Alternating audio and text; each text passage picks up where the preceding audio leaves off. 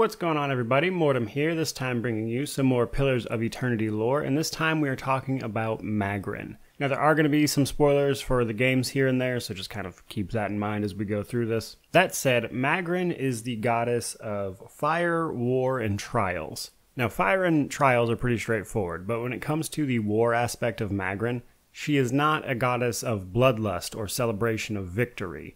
When she is the goddess of war, it's more about military excellence and passionate discipline. And as a result of that, most of Magran's clergy, if you want to call it that, is made up of people like officers, soldiers, engineers, even, or just people trying to test themselves.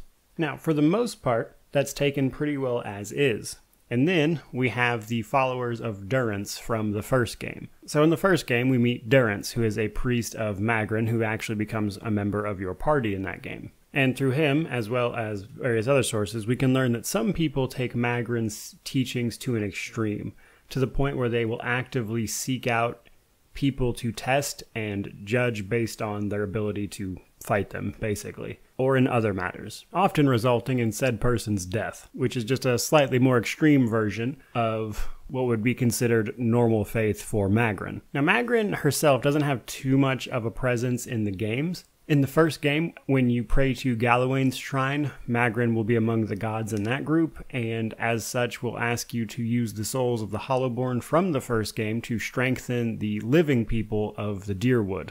In the second game, she's a bit odd because when you reach the Ashen Maw as you're chasing down Eothas and the events play out at that particular place, Magran and Ondra will then try to attack Eothas. Magran by erupting the volcanoes, Ondra by sending tsunamis and stuff. But then afterwards, Magran will be one of the gods that asks you to just not try to stop Eothas anymore, in a bit of a reversal after realizing that they couldn't do anything, I suppose. But the most important thing when it comes to Magran actually happens before the events of the first game, roughly 15 years. So, as we talked about in our video about Eothas, he at one point entered the body of a man named Waidwen, who then became known as Saint Waidwen. And through Waidwen, Eothas tried to illuminate the history of the Engwithans to the rest of the world. Now, the other gods did not like this, and Woedica goaded Magran into doing something about it. And as such, Magran is credited with engineering the creation of the Godhammer bomb. Magran brought together 12 of her priests, one of which being Durance, actually, to create a bomb. Now, this bomb was simultaneously a physical bomb as well as a metaphysical one because Magran put her own power into it. The priests of hers put their actual power as well as their magical power into it. And then they were able to find a fragment of Waidwen's soul and that became the detonator. So basically, whenever Waidwen walked near it, it would explode. And thus, the Godhammer bomb was hidden under Halgot Citadel, specifically under a bridge, and Waidwen was goaded into crossing said bridge. And as he crossed it, because of his presence with the detonator, the bomb went off. It's not exactly known what happened to Waidwen because his body was never recovered, so it's unclear if it was just completely eradicated. However, we of course know that Eothas lived through the events of the games. But nonetheless, he was wounded. So Magran is effectively the reason that Eothas was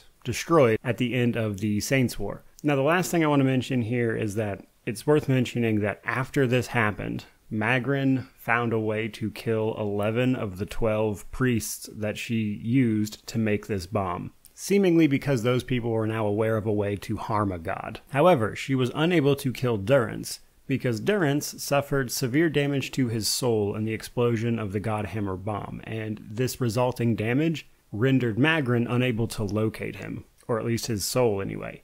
And as such, she never struck him down. But there you go, guys. There is the information about Magran, the goddess of fire, war, and trials. I hope you enjoyed the video. If you did, please remember to like, comment, subscribe, all that YouTube jazz. But regardless of any of that, thank you so much for watching. I really do appreciate it. May you wander in wisdom and have an amazing day.